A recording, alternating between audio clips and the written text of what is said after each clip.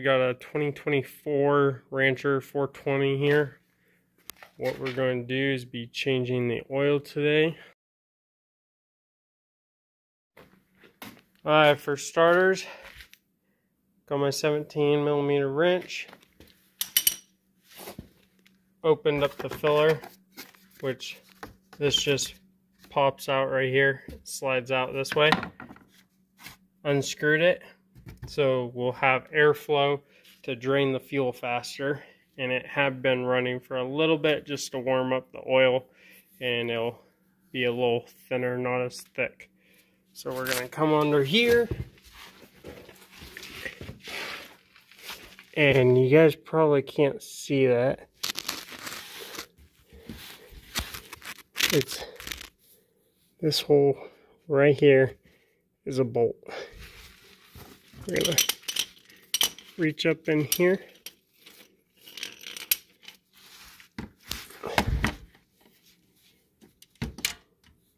Right there.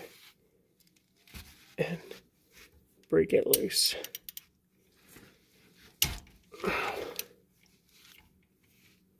So once we got that broke loose, we're gonna, this is our oil catch pan.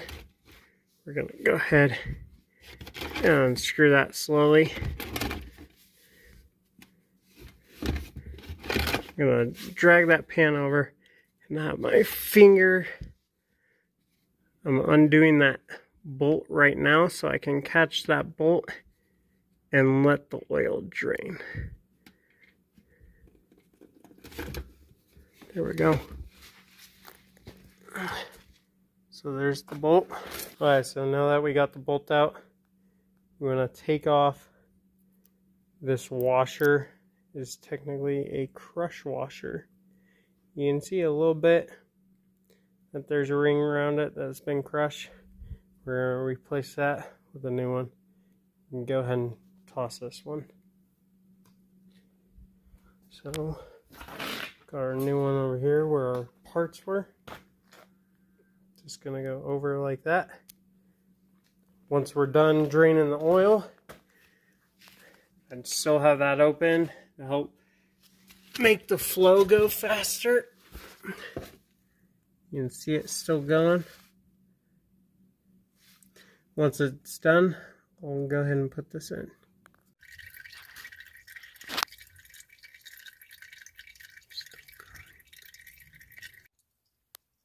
Well, that's still draining.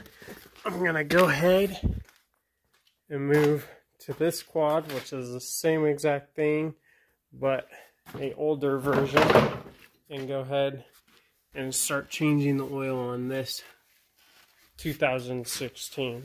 Uh, so we got our new crush washer on here. We're gonna go ahead and hand tighten it. Once you got it tightened, grab our wrench, ratchet, the 17 millimeter, put it on there. 35 foot pound torque.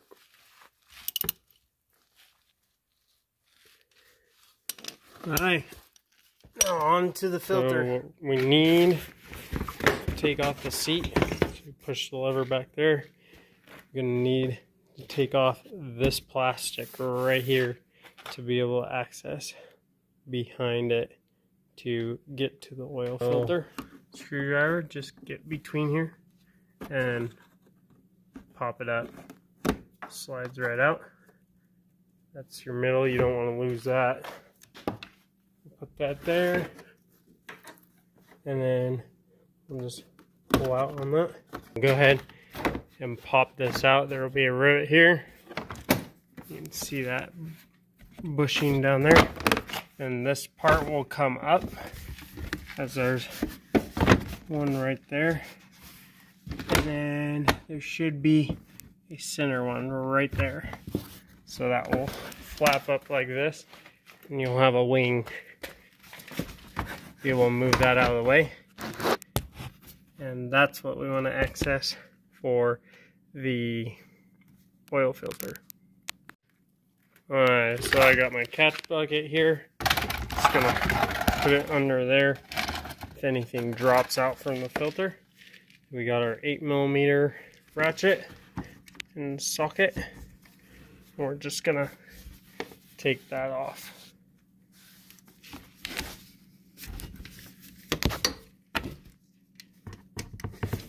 Break each one of those loose.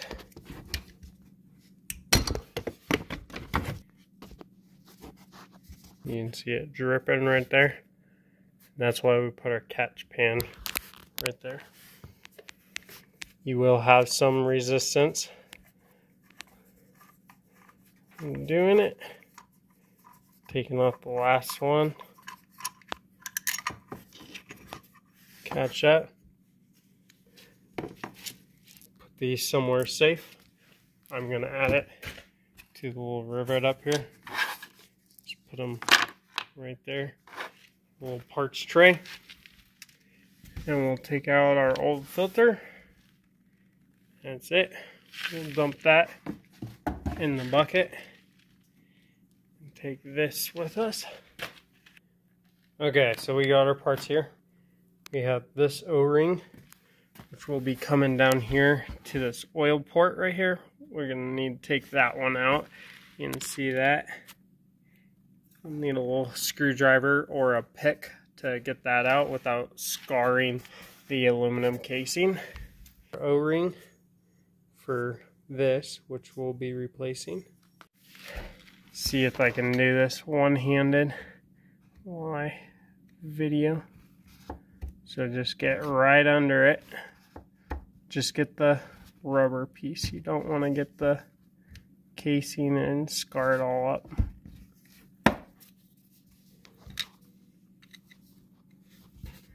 I'm going to go on the inside. May need to get a knife. There we go.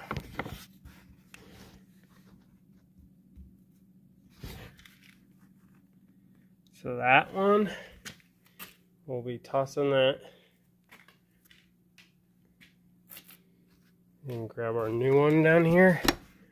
Just put it right in place. Won't hurt to put a little oil on it. Doesn't need a whole lot. We'll open this.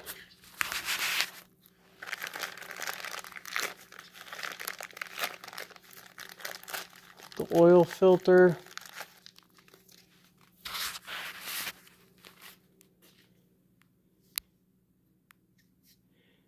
And then this side,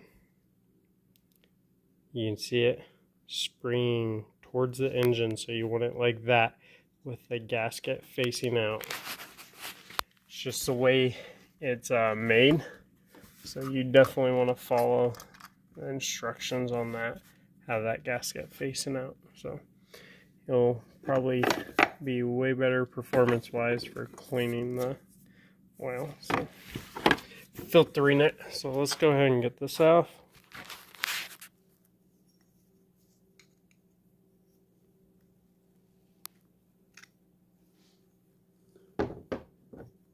that one. You probably don't necessarily need to change these ever every oil change, but it doesn't hurt. It doesn't hurt to change it every oil change.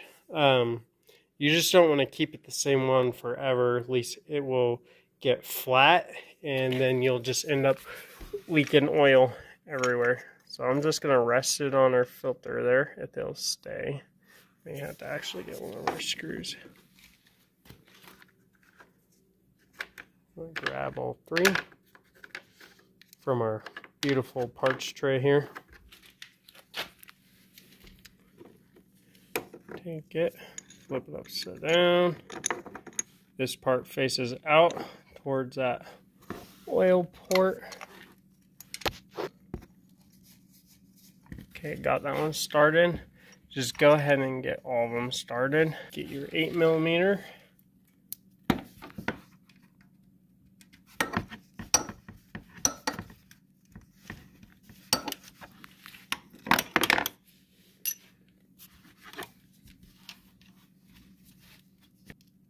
Gonna put it back on the wrench here.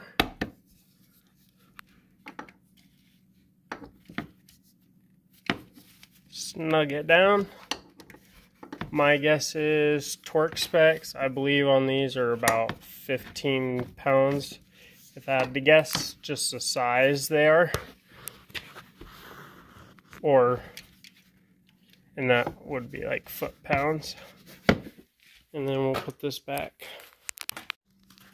Go ahead and toss these, we don't need those. Putting this side back together.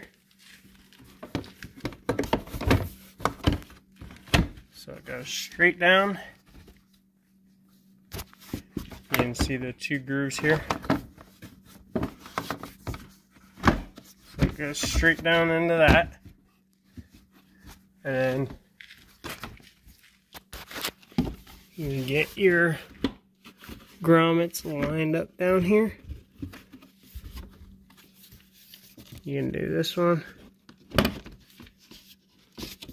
That slides on right there. It presses in to there. Goes like that. And then you should just be able to pull this one back.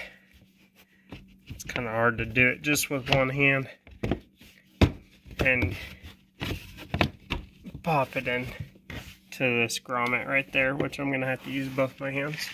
And then there's one, another grommet right here in the front. You're going to want to pull forward and end on that.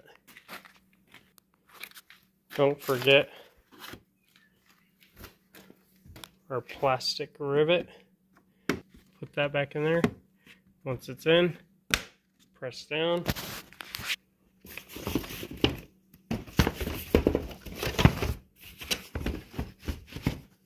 Get that seat on in the front. Press down. You're locked and ready to go. Now that we finished up the filter and draining the oil, now we're going to fill it up. Pulling the dipstick out. Let's set her up here. Got a filter with a long neck just so I can reach in there and filler to 3.8 quarts and fill her up.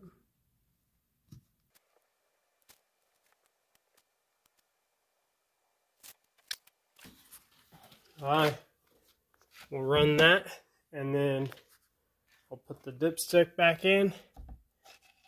Check the fuel, the oil level, and then if we need to top it off, we will. But that should be about good. So let's put this in here. Start her up.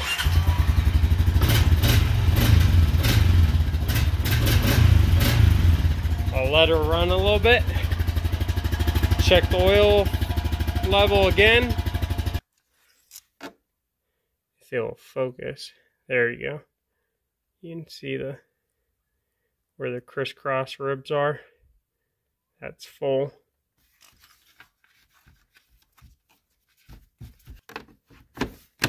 So it's ready to go. Thank you guys for watching. Have fun riding. Stay safe.